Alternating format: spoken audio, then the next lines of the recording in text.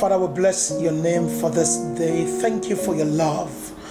Lord, we will forever be grateful for the gift of life and the renewed opportunity that you give to us day after day. May your name be forever praised and may your name be adored in all the earth in the name of Jesus.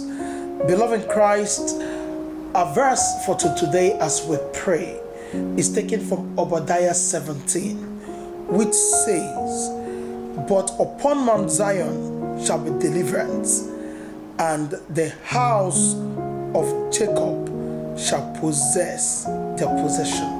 The New International Version puts it this way But upon Mount Zion shall be deliverance, and there shall be holiness, and the house of Jacob shall possess their possession. Beloved Christ, I want to say to you, everyone who comes to the Lord, who enters into the presence of God, will truly be delivered from the hands of the wicked, from the hands of the oppressed, and from the hands of those who will not want you to get to the height that God has determined for you.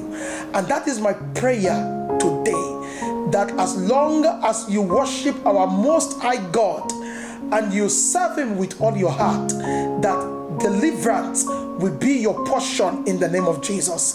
The Lord will set you apart as holy, as sacred in the name of Jesus.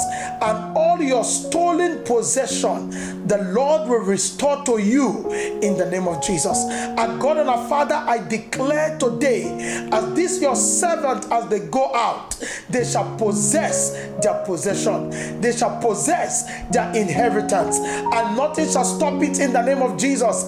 Every stolen thing that the enemy has taken away from you, I declare that it will be recovered, it will be restored, and in the name of Jesus, and it will be permanent in the name of Jesus.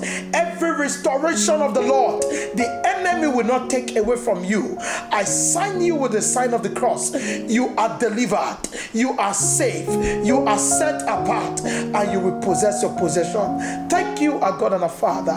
In Jesus' mighty name, we pray. Amen.